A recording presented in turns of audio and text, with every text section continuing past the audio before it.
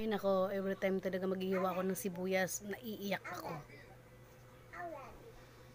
Sobrang anghang kasi.